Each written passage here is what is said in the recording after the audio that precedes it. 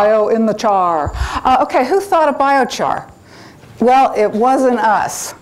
It was, it was Amazonian Indians. The best we can piece together, it was Amazonian Indians. Well, how did we figure that out? Well, it took us a very long time to realize that, wait a minute, there were cities in the Amazon thousands of years ago. They were right in the jungle, and cities mean a lot of people, and a lot of people eat a lot of food.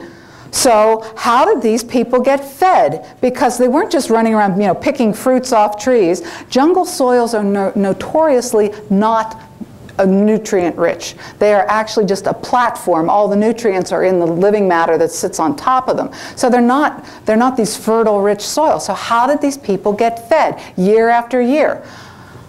There must have been something in the soil. So it was really anthropologists who started to tune into the fact that, wait a minute, we know that there's like these, all these roads, the, the ancient roads, and when we fly over them, we can see that all along the roads, these are these little nodes of very rich, verdant growth that looks different than the, the, the growth around it.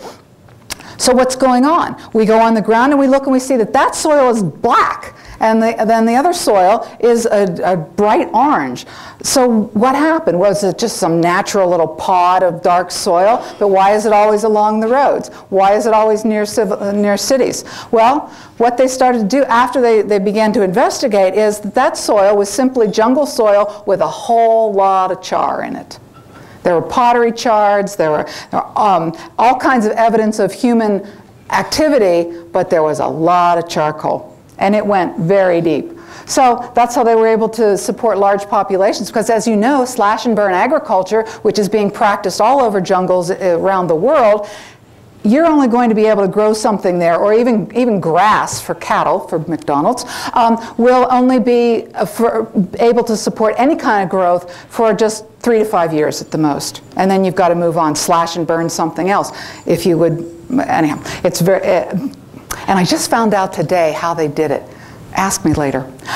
Okay, and ter these terra preta soils are still fertile. I got to go to the Amazon um, this past fall and visit terra preta sites. And I'm talking to permaculture practitioners and farmers, and they are on this terra preta land, and they said, you bet, this terra preta land is worth five times what that jungle soil is worth, and it is still highly fertile and still outproducing by a factor of five jungle soils. 2,500 years later. What a gift to future generations for us to improve the soil so that they could continue to use it and, and, and uh, enjoy its fertility and richness 2,500 years later. This is an actual live picture. Uh, this is a terra preta soil, and this is normal jungle soil. And they, they are that different. It's like, it's shocking.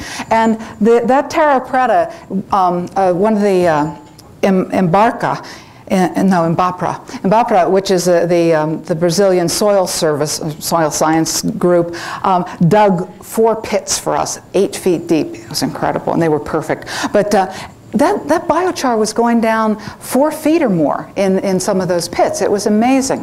Um, and here's a, a, a, photograph here of just a um, digging the soil, and this is the terra preta, and as you come down and, and, get down here into 80 to 100 centimeters, you start to get into the regular jungle soil. But all, uh, from the top, you can see how it was very dark here and then slowly degrades to the, the normal jungle soil. But that's plenty of root zone for, for fertility.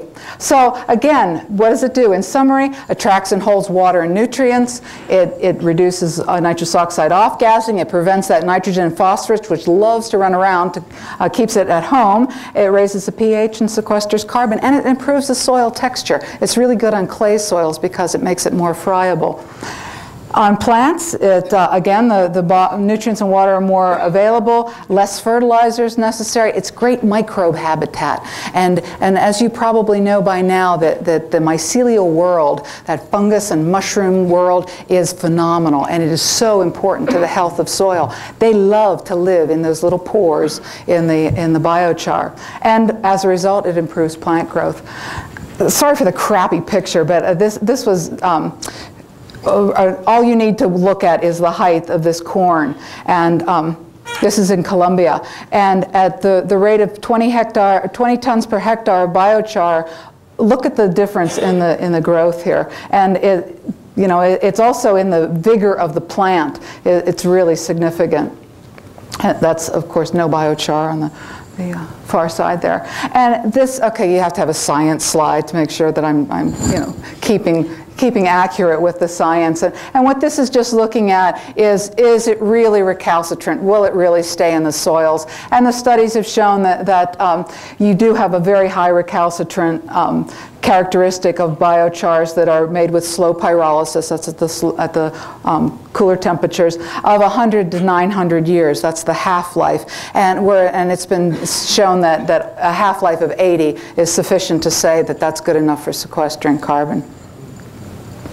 Um, and the carbon sequestration values. I just had to throw this in because um, I really want to underscore that if we had a carbon market, biochar would be black gold, literally. And, and we were, um, at one point, we're seeing um, the European market go for about $35 a ton uh, for CO2. And if a ton of biochar is worth about three tons of CO2, then suddenly you're talking about about $100 a ton just for the carbon sequestration, not for all the other benefits that, that accrue.